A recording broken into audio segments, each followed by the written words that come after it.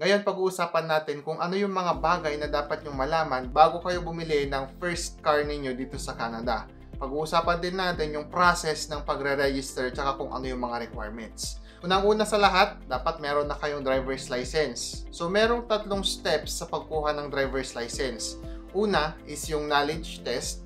Pangalawa is yung drive test para sa inyong GDL license. Pangatlo is yung drive test para sa inyong full license.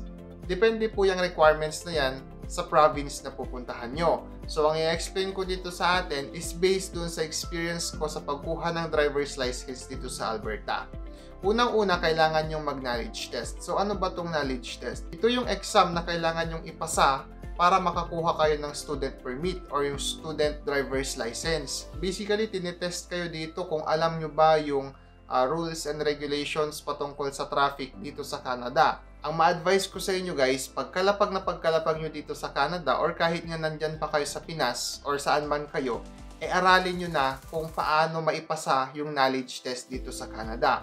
Para nang sa ganon, pagkalapag ninyo, mag-take kaagad kayo ng knowledge test ninyo para mag-run na yung experience ng driver's license nyo dito sa Canada. Makakatulong ito later on sa pagkuha nyo ng mas mababang rate doon sa inyong insurance. Pag-uusapan natin lahat tungkol sa insurance maya-maya. Ngayon sa pagkuha ng knowledge test, considering nakapag-review na kayo, simple lang po ang gagawin nyo. Pupunta lang po kayo sa pinakamalapit na registry sa inyong tinitirhan, tapos dalhin nyo po itong apat na requirements nila. First is yung proof of identification or yung mga IDs ninyo. Ah, syempre, dalhin nyo dito yung passport ninyo. Kasi nga, sa example natin, wala pa tayong ID dito sa Canada. Second is proof of residency ninyo. So, ang pwede ninyong gamitin dito is yung inyong lease contract or letter from your landlord stating na nakatira ka sa certain address na yon and make sure na yung pangalan po ninyo is nandoon sa mismong letter or doon sa lease agreement. Third is yung permit ninyo. So, kailangan nyo din pong i-present kung ano yung meron kayong permit. Mapa student permit yan or work permit. Fourth is yung inyong test fee. Nagre-range yung test fee around $20 to $30. Depende po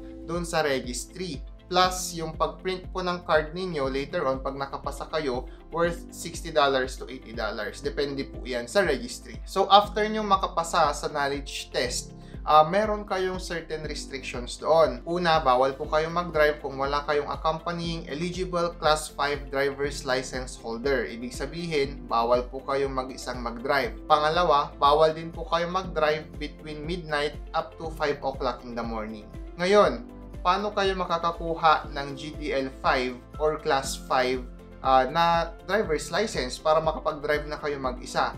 Para makapag-drive test po kayo, nire-require po ni Canada na at least meron kayong 1 year experience sa driving. So from the date na nakuha nyo yung student permit ninyo or yung student license ninyo, magbibilang po kayo ng 1 year Then after that, pwede na po kayong mag-drive test para makakuha kayo ng Class 5 or GDL5. Pero meron tayong technique or meron tayong way para ma-waive ito. Kung kayo po ay experienced driver na dyan sa Pinas, so pumunta po kayo dun sa LTO main at kumuha po kayo ng certification para ilista po nila lahat ng license na na-issue sa inyo. I-assess po ng Government of Canada kung pwede na nilang i-waive yung 1 year experience. In my case naman po, upon passing nung knowledge test, sinubmit ko po doon sa registry yung aking certification from the LTO. After 7 business days, uh, nag-email po sa akin yung registry. Sinasabi nila na pwede na akong mag-take nung uh, drive test at na-waive na daw yung 1 year requirement. Ang next na dyan is drive test at kung maipasa nyo ito, pwede na po kayong mag-drive mag-isa. Ngayon, since meron na kayong driver's license, ang next na gagawin na ninyo is maghanap ng kotse na gusto nyong bilhin or kailangan ninyong bilhin. Mag-set po kayo ng standard dito. Unang-una, alamin nyo kung magkano yung budget ninyo. In our case, ang budget lang po namin noon is around $1,000 up to $2,000 maximum. Kasi nga po, sabi ko sa inyo, hindi po namin napagplanuhan yung pagbili ng sasakyan dito sa Canada talaga lang pong kinailangan namin dahil nga sa sobrang lamig nung dumating kami dito. At hindi namin kinaya yung minus 40 na naglalakad kami sa labas and nag-aantay kami ng bus doon sa bus stop. Kaya yun po, napilitan po kami mag-shell out ng uh, ah, $2,000 for that.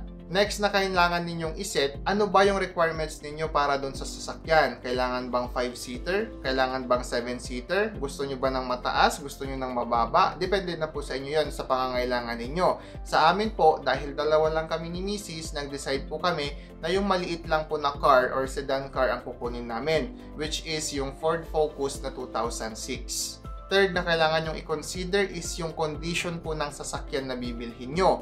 Kung meron kayong kakilala dito sa Canada na marunong tumingin ng sasakyan or mag-check ng condition ng sasakyan, maigi pong isama ninyo siya kapag bibili kayo ng sasakyan, lalo na kapag second hand. Kung wala naman, pwede po kayong mag-hire ng local mechanic dito para samahan po kayo sa pagbili ng sasakyan. I advise po na mag-join kayo sa mga Filipino community, yung mga Facebook group ng Filipino community sa area ninyo, nang sa ganun po ay makakuha po kayo ng recommendation kung meron silang kakilalang uh, trusted na mechanic or pwedeng tumulong sa inyo sa pagbili ng uh, unang sasakyan ninyo dito sa Canada. Tip ko naman guys, kung saan kayo pwedeng maghanap ng mabibiling sasakyan dito sa Canada, pwede po kayo mag-search sa Facebook Marketplace. Dito ko po nahanap yung pinagbilhan ko ng sasakyan. Actually, Pilipina po yung may-ari. Pwede rin po kayo maghanap sa KGG or sa Craigslist. Actually, meron pang isang way at mas magandang way para maghanap. Doon po sa sinalihan ninyong Filipino Community Facebook group, mag-post po kayo doon at sabihin nyo naghahanap kayo ng sasakyan, sabihin nyo yung budget at saka yung requirements ninyo. Kasi po meron din tayong mga kababayan na nagbebenta din ng sasakyan nila doon sa mga Facebook uh, group na yon.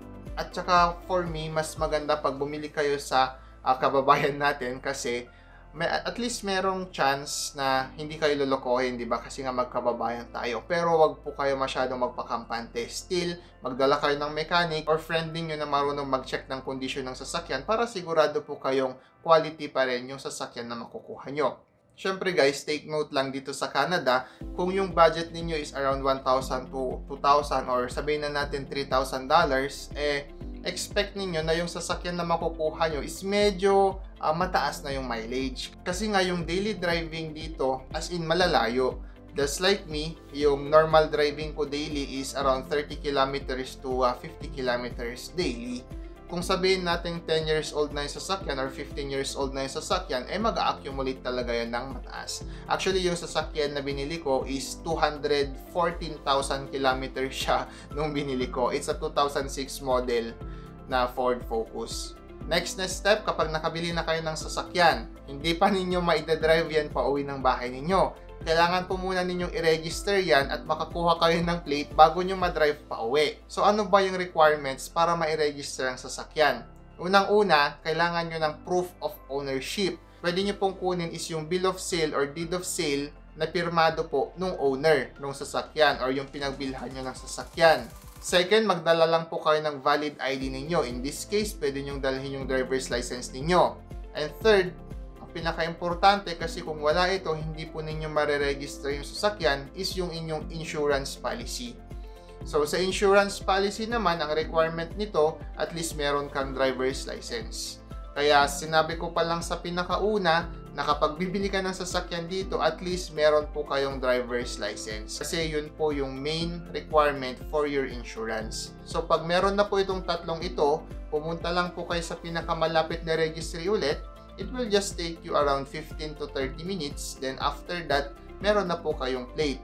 Then, pwede nyo na pong iuwi yung inyong sasakyan. Pero bago natin tapusin itong video na to, pag-usapan natin yung insurance. Meron pong dalawang types ng vehicle insurance sa Canada. Hindi ko lang sure kung meron pang iba. Una is yung one-way, pangalawa is two-way. So, ano yung pagkakaiba nitong dalawang to? Ang main difference lang talaga nila is yung coverage. So kapag one-way insurance po ang kinuha ninyo, ibig sabihin, pag po merong collision, ang sasagutin lang po ng insurance ninyo is yung other party. So kung nasira yung sasakyan ng other party, sasagutin po nila yung repairs nito.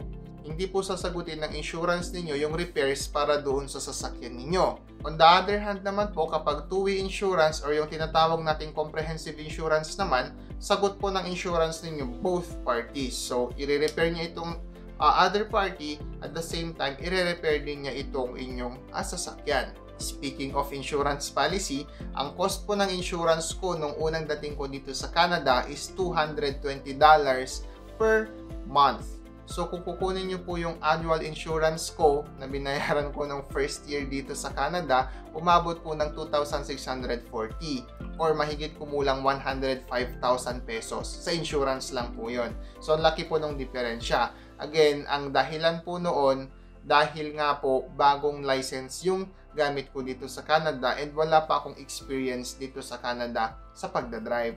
Pero uh, as times pass by, bababa rin po yung insurance cost na yan. Meron po akong mga na narinig na yung insurance cost na lang nila is nasa $100 something.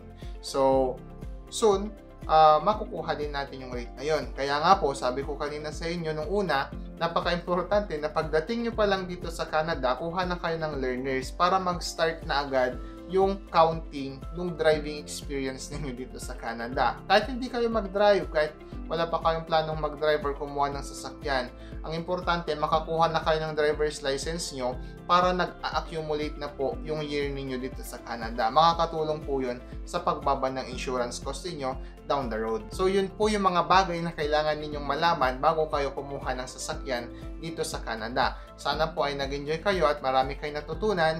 Uh, see you po sa ating next video. Maraming salamat!